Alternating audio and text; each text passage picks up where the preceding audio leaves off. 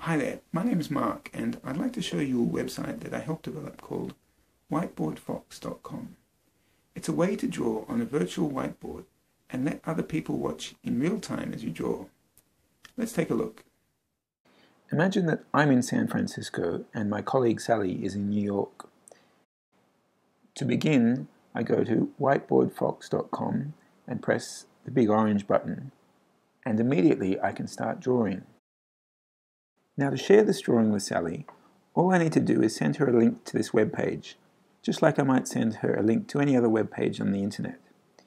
In this case, the link is whiteboardfox.com slash 554-9224-9513. To save Sally from having to type that into her browser, I'm going to email her the link. Note that she can use any tablet, computer or laptop. She doesn't need to install any software and she doesn't need to set up any user accounts. All she has to do is click on the link I emailed her. And Sally can see exactly what I see. As I make changes to the drawing, Sally can see those changes in real time. Sally can also make changes which are reflected in my view. It's easy to erase parts of the drawing, and if I erase too much, I can just press the undo button until I get back to where I was. Now Sally actually has an advantage over me because her Samsung tablet comes with a stylus pen. So for her, drawing fine detail like text is quick and easy. But I have to use a fingertip on my iPad, so I have to zoom in to draw the same level of detail. Now that works, but it doesn't quite feel as natural. Worse still is when I have to draw with a mouse. Desktop computers have large screens, so they're great for watching someone draw, but it just feels a bit clunky when you have to use the mouse to draw. So Sally's on the phone and she says, I'm creating a website for people to manage their digital photographs, and I want users to log into my website using their Facebook password. How would that work? So I say to Sally, okay, I'll show you. You've got your website here,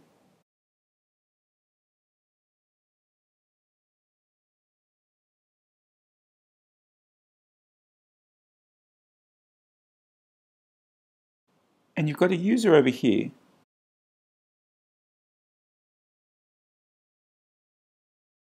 Let's call him Fred.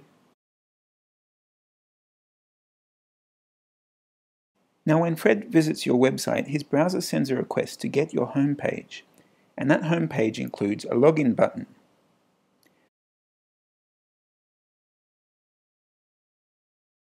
When Fred clicks that login button, his browser sends a request to facebook.com.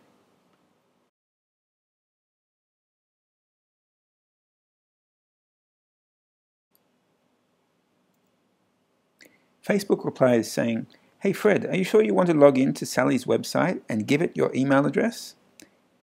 Fred clicks yes, so Facebook sends a response that includes a special authorization code. His browser then immediately forwards it to your website and your website in turn forwards it to facebook.com requesting Fred's user ID and email address. Facebook gives you that information because you've supplied a valid authorization code. Your website uses that ID to query its database for a list of Fred's photos.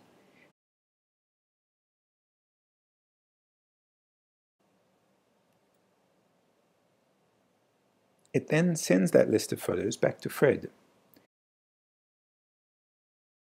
The whole process shown in red only takes a few seconds.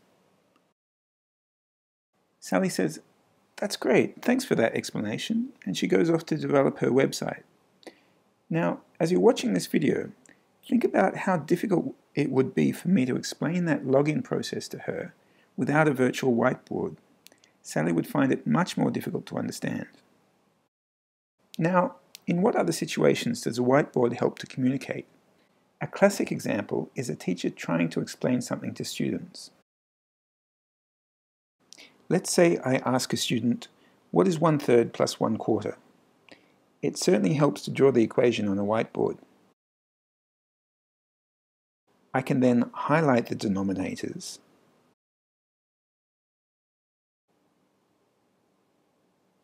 It might also help to draw circles representing each component of the equation.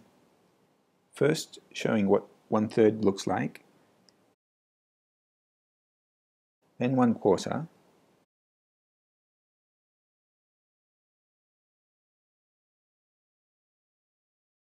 then the total. I would then go on to divide the circles into 12 and show that the total was 7 twelfths. Clearly, teaching fractions would be virtually impossible without drawing numbers or pictures. But it's not all about serious work and study.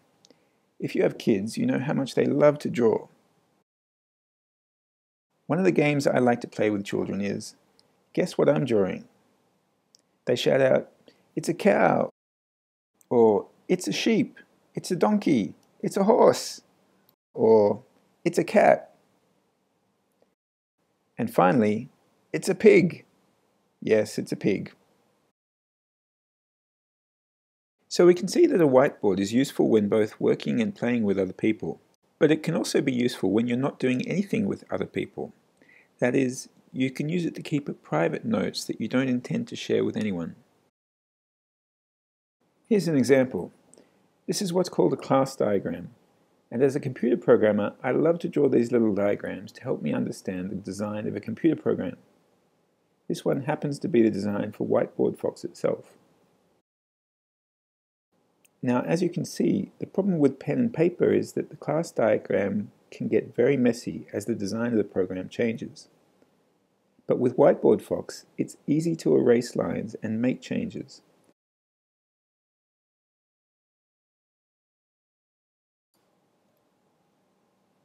This particular change represents how Whiteboard Fox was altered to allow users to add pictures to their virtual whiteboards.